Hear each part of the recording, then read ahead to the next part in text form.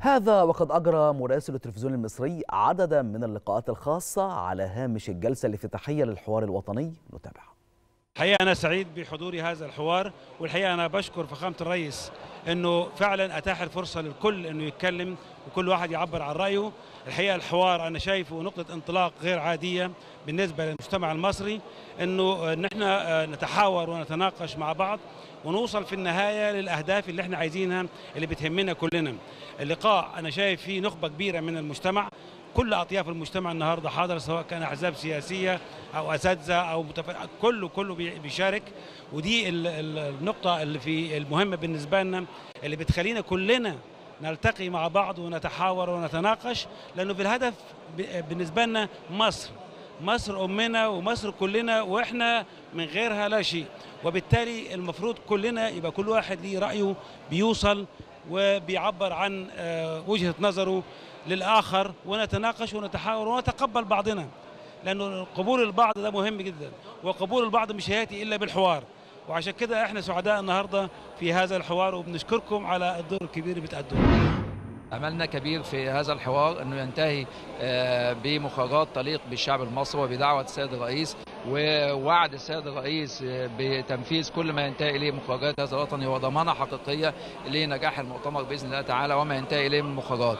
حقيقي جهد كبير على مدار عام النهارده بدايته لجني الثمار وزي ما بيقول اللائحة اللي موجودة وعدم تحديد سقف زمني لنهاية هذه المخرجات تضع ضمانة وتقطع الطريق على المشككين بأن هناك مخرجات معدة سلفا ولكن الحوار مفتوح للجميع لا خطوط حمراء وده بيساعدنا إن إحنا نساعد في إن إحنا بنقول مقترحاتنا بنقول رؤيه الحزب في القضايا المختلفة طبقا لبرنامج الحزب وإن شاء الله ينتهي الحوار بمخرجات تليق بالشعب المصري بإذن الله.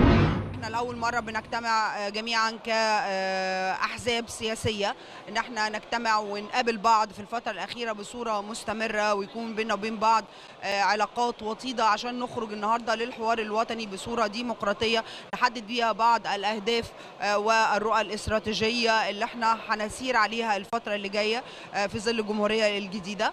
أعتقد إن إحنا في حدث جلل وحدث مهم جدا وإن شاء الله بإذن الله ينتهي بتوصيات ترضي جميع الأطراف سواء كان من اليمين أو من اليسار. شايفة حاجة جميلة جدا إن جميع الأحزاب متساوية جدا في سواء كانت أحزاب أغلبية أو أحزاب أو حزب أحزاب أقلية. لا النهارده اليوم متميز.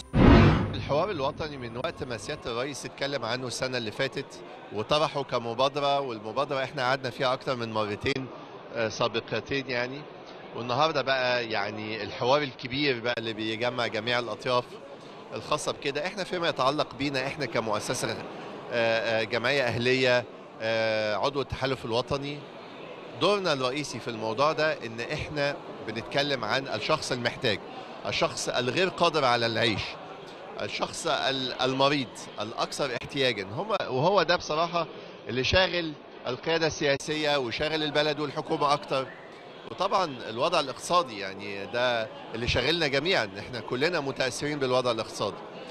فحان الوقت بل يمكن اتأخر حبتين آه وإن إحنا لازم الطروحات وال وال والكلام. على فكرة الموضوع مش قوانين بس.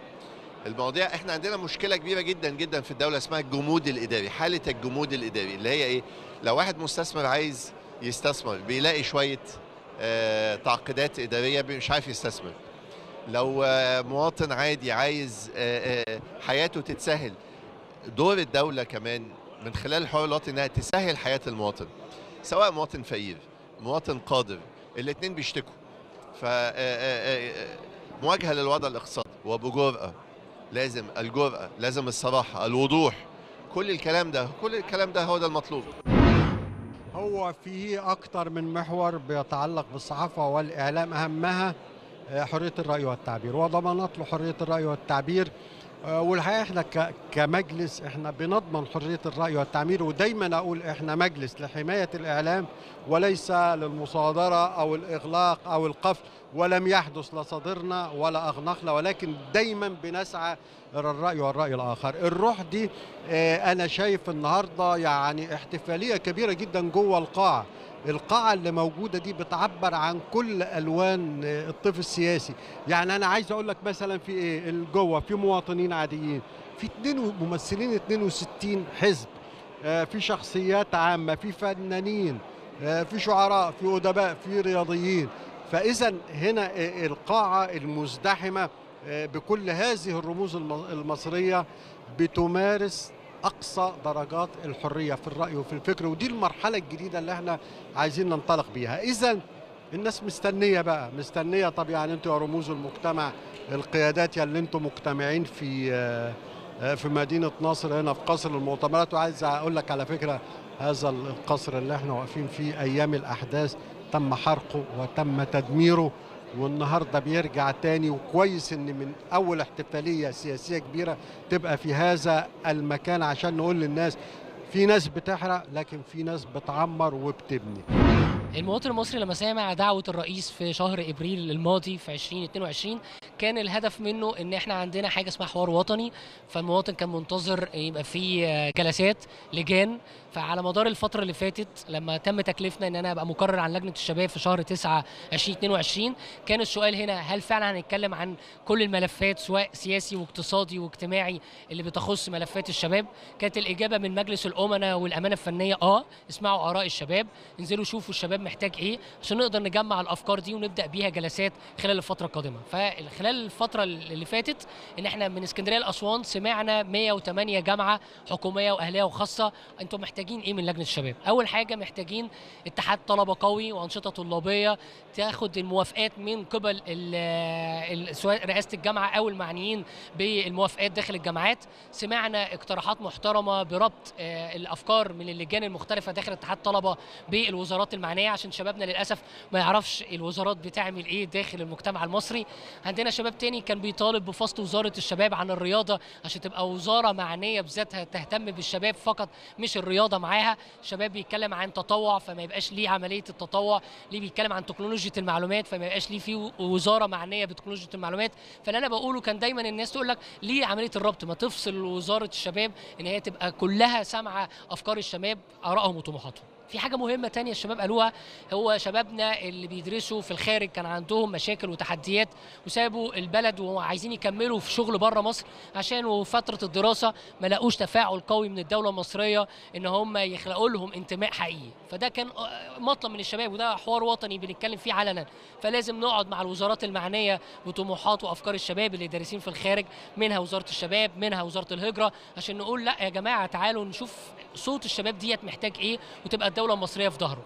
بالتأكيد حالة الحوار الموجودة داخل الحوار الوطني أكيد هتسفر عن عديد من الحلول والبدائل الممكنة لعلاج العديد من الأزمات اللي بيشهدها الاقتصاد المصري بطبيعة الحال بسبب الأزمات الاقتصادية العالمية وبالطبع مصر جزء أصيل من الاقتصاد العالمي ومتشابك به بعلاقاته الاقتصادية الممتدة.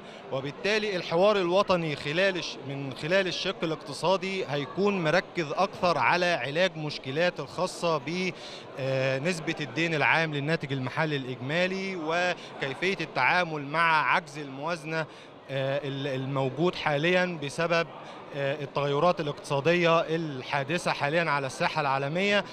بالإضافة لمواجهة مشكلة التضخم وكيفية التعامل معها وفقا للآليات الاقتصادية المتبعة من الدولة المصرية بالإضافة إلى وجهات النظر اللي هتخرج من الخبراء الاقتصاديين المشاركين في أعمال اللجان المختصة بالاقتصاد.